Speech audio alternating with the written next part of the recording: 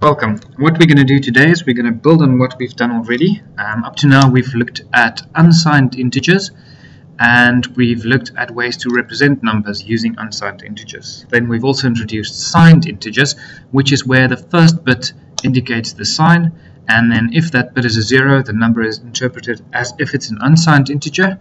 If it's a 1 we need to decide which method of representing negative numbers we use. We did 3, we did sign of magnitude, 1's complement and two's complement. So what we're going to do today is we're going to say let's build on that and let's look at how to represent fractions. How do we represent fractions in binary? So the lecture is about more than that, but what I want to focus on is just that. The first method to do this is to say let's use a fixed point number representation. And essentially all you do when you use that is to say for normal binary we said the least significant was represented by 2 to the power 0. Then the next significant bit was 2 to the 1, 2 to the 2, 2 to the 3, and so it continued until 2 to the power n minus 1, where n is the number of bits that you have. What we're saying now is, if we want to represent a binary number which is less than 1 in terms of its fraction, um, how do we how do we represent that? And the easiest way to do it is to say let's just shift this binary point instead of the decimal point, which you would call it in decimal uh, algebra, let's shift this binary point up and then our definition becomes something like 2 to the power 0 dot 2 to the power minus 1, 2 to the power 1, which is this is the bit right next to the dot, this is the bit right next to the dot as well, to the left and to the right, and then it continues on that side, continues on that side.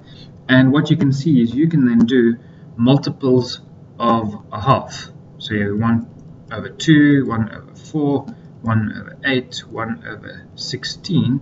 And you can then start to add these things together to build up fractions. Let's just quickly look at the formal definition. That's the formal def definition there. So the number we're representing is built up of ones and zeros and somewhere inside our number, our binary number, we put a point.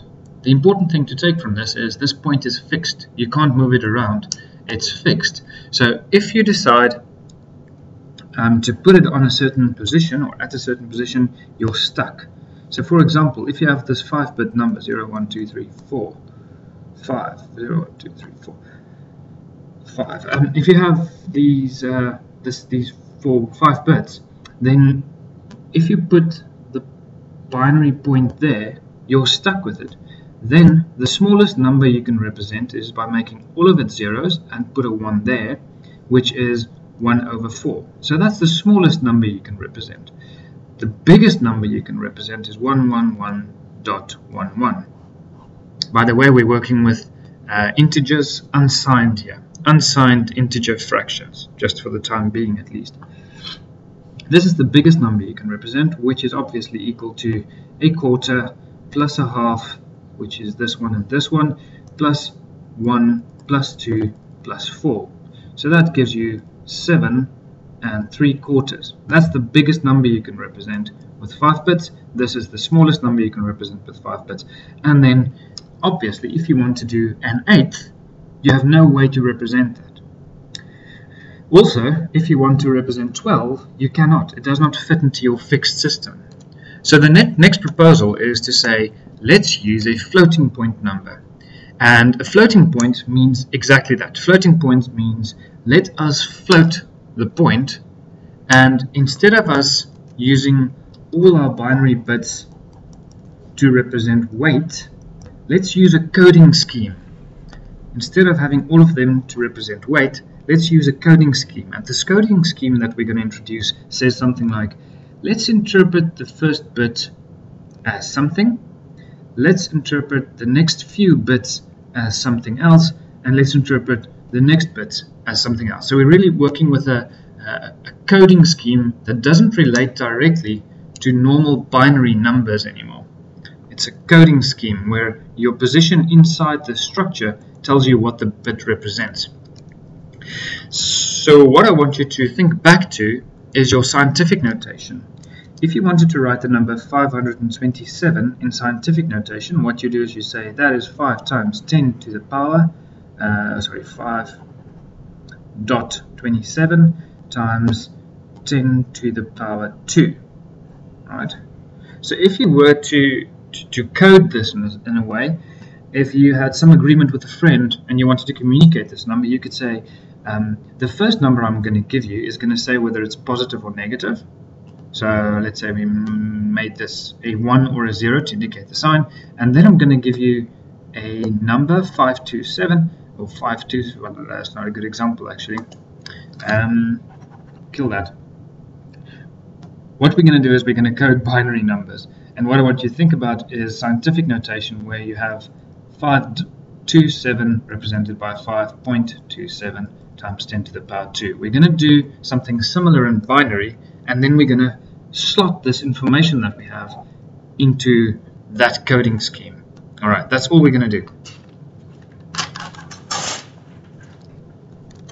So in order to represent these uh, floating point binary numbers, the IEEE has made two standards, single precision 32-bit format and double precision 64-bit format. And these are the two formats we use to represent our, uh, our floating point numbers. The first one, 32-bit numbers, you represent by saying let's let's all decide to use the first bit as the sign, where a 0 designs, denotes a plus and 1 denotes a negative. So that's similar to sign of magnitude and 1's complement and 2's complement. The first bit tells you what the sign is. Then the next 8 bits out of the 32 represents your exponent. Just jumping back to the decimal, that's our exponent there. Um, this represents your exponent in binary. And then the final 23 bits represents our mantissa. And if you were to jump back to the decimal, that part there, that's your mantissa. Alright? Note that I've excluded the 5 for a good reason, and I'll show you now why. Good, so what you have here is the definition. The definition says the value we're representing is equal to minus 1 to the power s, where s is that first bit. You can see that just changes the sign to plus or minus, times 1 point m, where m is this whole mantissa. See, that's the, the 1 that I excluded from the mantissa in the previous example. 1 dot mantissa, everything in binary, times 2 to the power e minus 127. And e is that there. So let's just look at this quickly. S is the sign, E is the exponent, and its range is, you can see it's 8 bits, so its range is 0 to 255. So what we're doing when we say it's 1.m times e to the times 2 to the power e minus 127, what we're saying is this e can go from 255 down to 0, that's its range, and then we're subtracting from it 127. So essentially we're saying this whole part here can go from minus 127 up to 128. That's the range of exponent that we can introduce by varying e from 0 to 255. So essentially we're saying we want to move this dot, we want to be able to move it to the left, and to the right. To the left, we want to be able to move it um, 127 places and 128 places to the right. That's the, the binary dot. We want to be able to move by coding something into this number representation of ours. There are some tricks here that you need to just be aware of quickly. If the exponent is all ones, if all those 8 bits are ones, we're talking about infinity. If m is also equal to 0, and then also, if the exponent is equal to 0, our definition changes. Then it's not 1 dot m anymore. If the exponent is equal to 0, uh, sorry, if the yeah, if the exponent is equal to 0, then our definition changes to minus 1 to the power s times 0 dot m times 2 to the e minus 126. Now e is 0, so that becomes times 2 to the power minus 1 to 6 and then m determines what the value of your your value what of your um, number is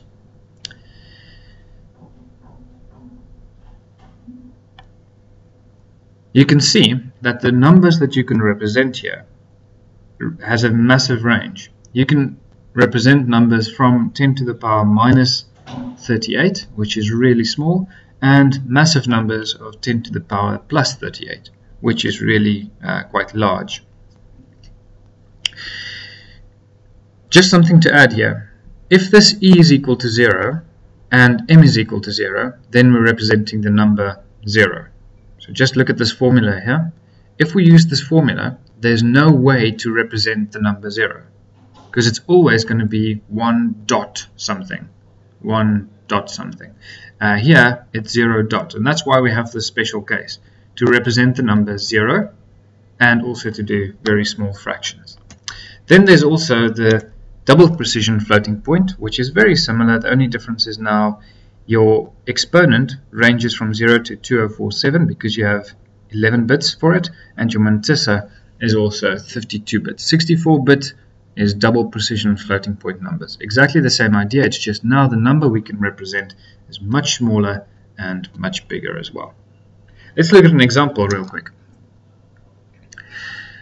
If we have a 9-bit system, so we're using a 9-bit floating point system, let's call it the Tina system, and what we, what I'm going to have to tell you in this system is I'll tell you the definition is that. The value I want to, I want to represent is given by that definition, and I tell you the first bit is the sign, then I have 3 bits exponent, and then 5 bits mantissa. So a typical exam question would be, what is the biggest number that you can represent with this system?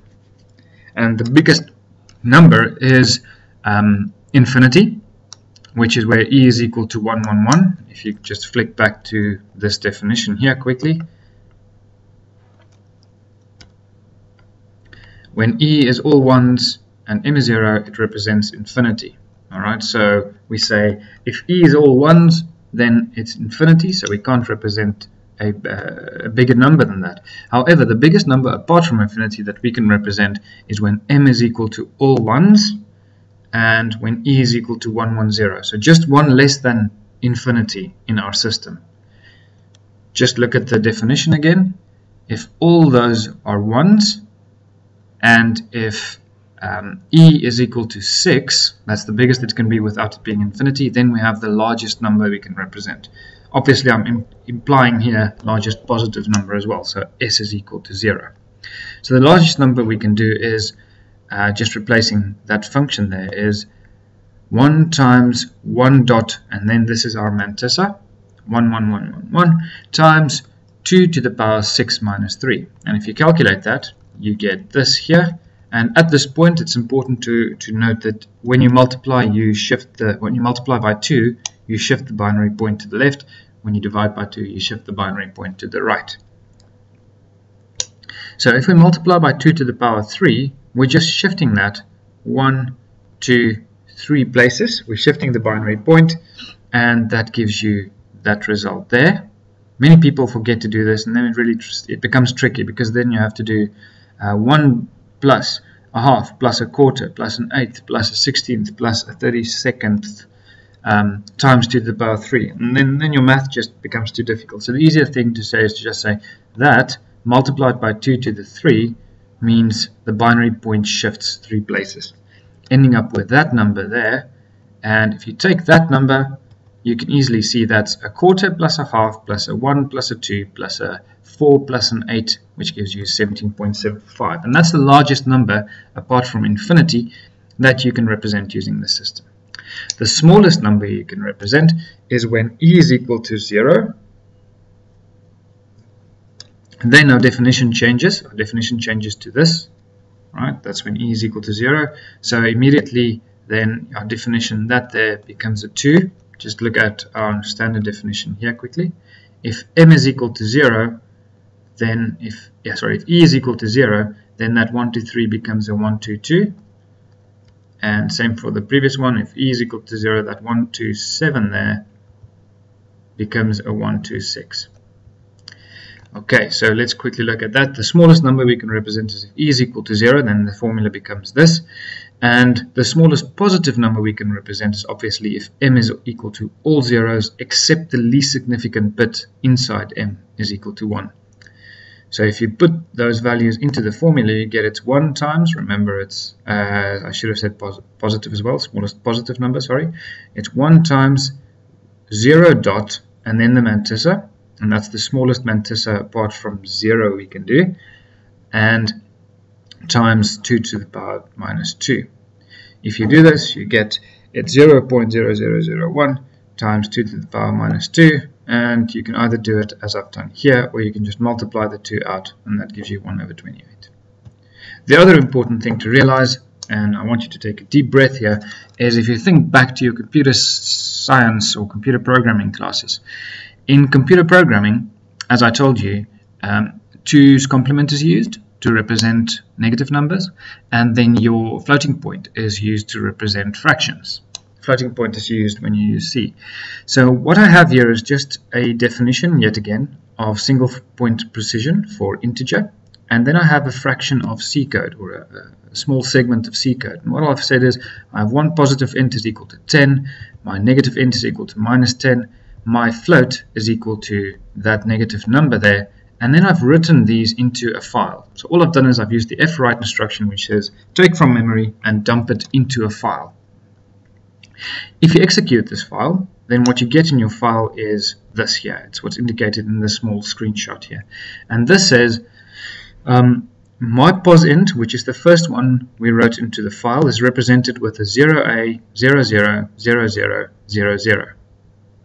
What's happening here is you need to read it from the right. It's 000000a, and you know the hex number a is just equal to 1010 in binary.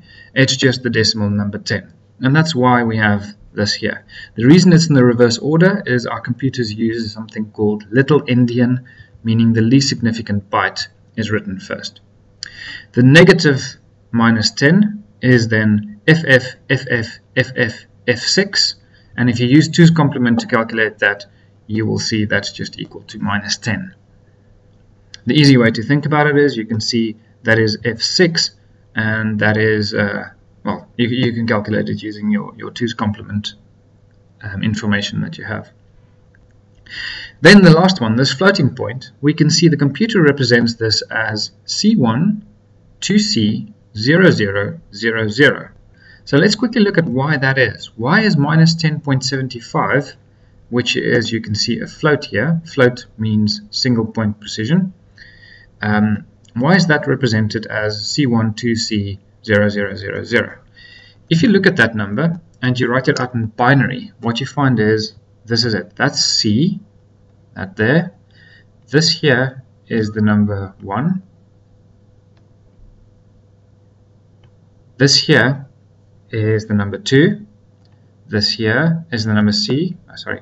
Remember, if we work with hexadecimal to binary, we make groups of four ones for each hexadecimal character. That's why that C relates to that 110. And then the rest are just zeros.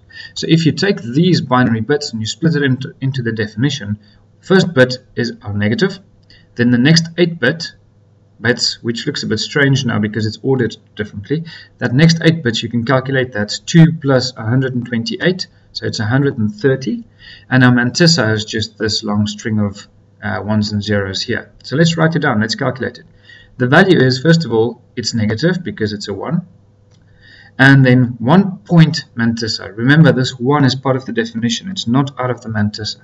One point mantissa. If you write down this mantissa, you get 0, 1, 0, 1, 1, and then loads of zeros, which doesn't matter because it's to the right of the, the binary point. So it's 0, 1, 0, 1, 1 times, look at the definition, times 2 to the power exponent, which is 130, minus 127. If you calculate that there, you end up with 3. So all you need to do is you need to shift the binary point 3 positions, one, two, three. So it gives you 101.11. And if you calculate that, it gives you 8 plus 2 plus a half plus a quarter is equal to minus 10.75. So go home and try to do it the reverse now. Take this number and then using this definition, establish what the binary representation would be, this floating point binary. And then you should end up with this. And I can guarantee you will get this in the exam.